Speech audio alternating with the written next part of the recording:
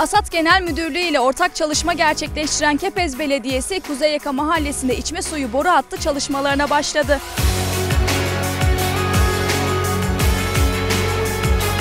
Tabi burada çok fazla su kesintileri oluyordu. Borular patlıyordu. Ayrıca borular çok eski, asbestli, insan sağlığına çok uygun değildi. Sağ olsun Büyükşehir Belediye Başkanımız Sayın Muhittin Böceğin talimatlarıyla burada asatımız işe koyuldu. Biz de Kepez Belediyesi ve Büyükşehir Belediyesi işbirliğini bir kez daha burada gösteriyoruz. Hep beraber 3200 metre su borularını yeniliyoruz. Hemen asfalta geçeceğiz.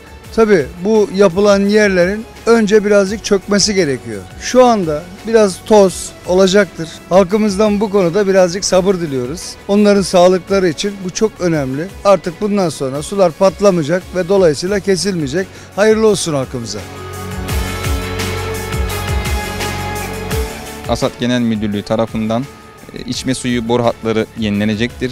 Biz de Kepez Belediyesi Fen İşleri Müdürlüğü olarak Mesut Başkan'ın vermiş olduğu talimat ile bu 10 sokağa 3500 ton sıcak asfalt kaplama çalışması yapacağız. Vatandaşımıza hayırlı olsun.